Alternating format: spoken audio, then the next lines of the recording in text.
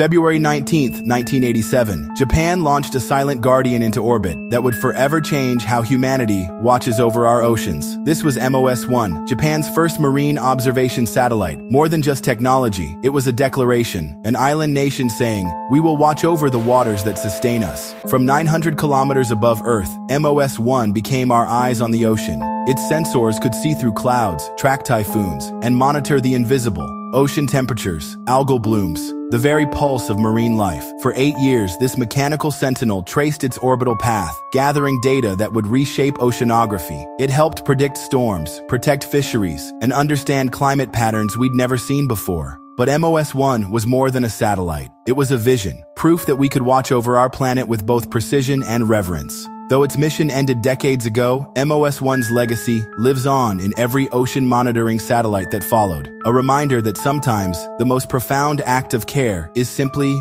watching. Stay curious and keep looking up.